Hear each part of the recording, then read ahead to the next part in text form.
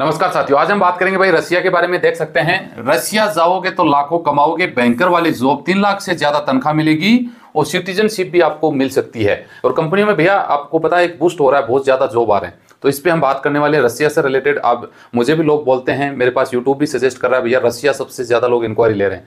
तो एक वीडियो हमने पहले बनाया था, इस पर हम दोबारा बात करने वाले हैं कि आपको जॉब मिलेगा, कैसे मिलेगा, नहीं मिलेगा, क्या डिटेल है इस पर शुरुआत कर लेते हैं कमेंट ज़रूर करिएगा चैनल सब्सक्राइब कर लीजिएगा, वरना तुक्के से तो हम मिलते ही रहेंगे। तो चलिए शुरुआत कर लेते हैं। देखो भैया, हम यहाँ पे दो पार्ट में बात करेंगे। पहला पार्ट ये है सेकंड इसके बाद। रसिया में तुरंत आपको जॉब भी मिलेगा वीज़ा भी मिलेगा, पंद्रह से बीस दिन के अंदर ये प्रोसेस आपका हो जाएगा। ठीक है जी? तो सबसे बड़ी बात यह कि अनपढ़ लोग जा सकते हैं, बिना कोई काम आपको नहीं आता है, फिर भी आप यहाँ पे जा सकते हैं। मेडिकल अनफिट हैं तो भी आप यहाँ पे जा सकते हैं। आपकी हाइट कम है तो भी जा सकते हैं। बीमार हैं तो भी आप यहाँ चले जा सकते हैं। कोई भी आदमी यहाँ पे जा सकता है। तीन लाख से ज़्यादा जॉब अभी अवेलेबल है यहाँ पे। सैलरी मिलेगी डेढ़ लाख रुपए से, भैया, एक लाख रुपए से लेके पाँच लाख रुपए जैसे आपका जॉब रहेगा, वैसे आपकी तनख्वाह यहाँ पे मिल जाएगी। काम आपको किसी भी जगह पे हेल्पर का मिल सकता है पैकिंग का जॉब मिल सकता है होटल में जॉब मिल सकता है मॉल में जॉब मिल सकता है कंपनी में जॉब मिल सकता है किचन हेल्पर में किचन में जॉब मिल सकता है ड्राइवरी का आप कर सकते हैं ऑपरेटर में कर सकते हैं कंस्ट्रक्शन में कर सकते हैं, खेती बाड़ी किसी में भी कर सकते हैं। सभी प्रकार के जॉब आपको मिल जाएँगे और पाँच से ज़्यादा इंडियन लोग यहाँ पे पहुँच चुके हैं। वीज़ा प्रोसेस की बात करें तो पंद्रह से बीस दिन लगेगा। वीज़ा चार्ज की बात करें तो डेढ़ से तीन लाख रुपए तक लोगों के लिए जा रहे हैं। एजेंट कहाँ से मिलेंगे, ये सबसे बड़ी बात है। तो एजेंट मिलेंगे आपको यूट्यूब से। जी हाँ। सोशल मीडिया से आप कॉन्टेक्ट कर सकते हैं। ये बातें आजकल देखने को सुनने को अच्छी तरीके से मिल रही होगी आप लोगों को और हमने एक वीडियो पहले भी बनाया था इसके ऊपर। अब इसकी उलट सच्चाई पे थोड़ा फोकस कर लेते हैं। अगर आपको याद हो तो मैंने एक बात पहले भी बोली थी कि ये माजरा चल रहा है। जी हाँ सेना में भर्ती के नाम पे। देख सकते हैं भारतीयों को धोखे से लड़ने भेजा रूसी कंपनियों में नौकरी का ऑफ़र लेकिन वेगर वेगनर आर्मी ज्वाइन करा दी बाईस दो दो हज़ार चौबीस। विदेश मंत्रालय बोला युग से यू, यूक्रेन जंग से दूर रहे। भारतीय का रूस में फंसे लोगों को छुड़ाने की कोशिश जारी। एजेंट ने धोखे से कराई आर्मी ज्वाइन ग्यारह घंटे पहले। और ये भारत के जवान है जो रशिया की वर्दी पहने पहने हुए खड़े दिखाई दे रहे हैं।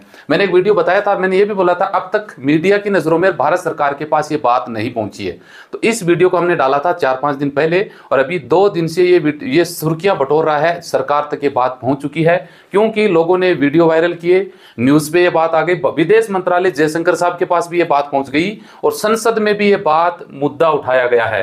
अब देखिए, हुआ क्या है भाई साहब? एक यूट्यूबर पे एक बाबा ब्लॉग के नाम से यूट्यूब चैनल है। वो फ्रॉड सदा से ही फ्रॉड कर रहा है। मैं उसको काफ़ी सालों से देख रहा हूँ। पहले वो दुबई कतर में करता था। दुबई के नाम से उसके बाद में अजरबैजान में करने लगा। अब ये बंदा रशिया पहुँच गया। इन लोगों को ये दुबई से डील की, दुबई से अच्छे खासे पैसे कमा रहे थे वहाँ से ये, वहाँ ले गया। रशियन लैंग्वेज में अग्रीमेंट करवा लिया। एक साल का काम करोगे, इतनी ट्रेनिंग मिलेगी, तनख्वाह मिलेगी, छह महीने बाद सिटीजनशिप मिलेगी और इन लोगों को धोखे से आर्मी ज्वाइन करवा दी गई।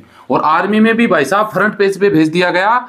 ये प्रोगोजिन, ये दिख रहा आपको? रूस ने इसको टपका दिया पुतिन ने। इसने भी भाई साहब रूस रूस सरकार से बगावत करके आपको पता है ना, वहाँ पे 2023 जून में तख्ता पलट करने की कोशिश की और आपको पता भैया पुतिन किसको छोड़ता है? प्लेन के सहित उड़ा दिया इसको। दस लाख, दस लोग साथ में मारे गए थे। बाबा बलोक यूट्यूबर के नाम से काफ़ी लोगों ने, उसने बहुत सारे लोगों को वहाँ पे फंसाया और आर्मी में भर्ती करवा दिया गया। अब ये इनके वीडियो वायरल हुए तो ये लोग वहाँ पे फंस से फंस जा चुके हैं। तो सरकार ने भी बोला है और ओवैसी ने भारत सरकार के एजेंट के खिलाफ कार्रवाई करें। ओवैसी ओवैसी ओवैसीद्दीन है ना ए के लीडर हैं असुद्दीन ओवैसी, उन्होंने वहाँ पे सभा में इसको भैया मुद्दा संसद में उठाया भी है कि इनके खिलाफ में कार्रवाई की जाए और गृह मंत्रालय से बोला है कि इनको हस्तक्षेप करके भारतीय लोगों को वापस बुलाया जाए। हालाँकि बहुत सारे लोग फंस चुके हैं और बहुत सारे लोग मुझे जहाँ तक मैं मानता हूँ भाई मारे जा चुके हैं। फ्रंट लाइन पे यूक्रेन की बॉर्डर पे 20 किलोमीटर पहले हैं वो रोल लड़ाई कर रहे हैं। इनको ट्रेनिंग दी गई, वर्दी पहनाई गई और वहाँ पे इनको फंसा दिया गया। अब यूक्रेन युद्ध युद्ध में पहुँच गए वहाँ से आना आपको लगता है मुमकिन है। हालाँकि भारत सरकार अपने स्तर पर कोशिश करेगी, लेकिन मामला उलट है ये। है ना? पुतिन के भी इतना जल्दी हाथ में नहीं है कि पुतिन को फ़ोन करेंगे और वो भिजवा देंगे। ऐसा नहीं होने वाला है। जब तक तो ये लोग मर जाएँगे, देख लेना आपके सामने होगी ये स्थिति, है ना? तो तभी मैं बोलता हूँ भाई साहब, यूक्रेन है ना, आप सोशल मीडिया के एजेंटों के चक्कर में ना आए। जो है ना, आपको इस तरीके से बोले वाले लोगों को फंसा लेते हैं, आपको इनसे तीन तीन लाख रुपए लिए गए। तीस चालीस हज़ार रुपए दुबई में ये लोग कमा रहे थे, फिर भी इन लोगों को फंसा लिया गया और अब इनकी ज़िंदगी झंड बना दी गई, है ना? ये इंडियन लोग, इंडियन है, बहुत हैं। ऐसा नहीं है कि बहुत सारे लोगों ने ज्वाइन कर रखी है। ये तो इनके पास फ़ोन नहीं है।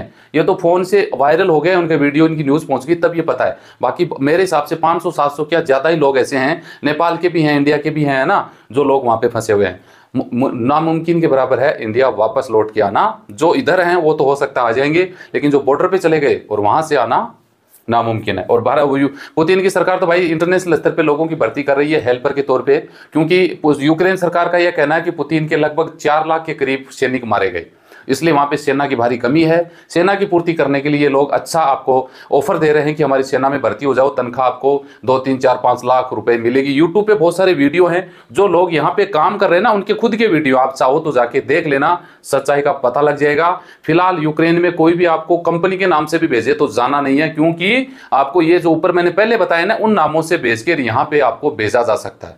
फंस जाओगे तो आपको फ़िलहाल के टाइम यूरोस रशिया की तरफ़ जाने की सोचने की ज़रूरत नहीं है।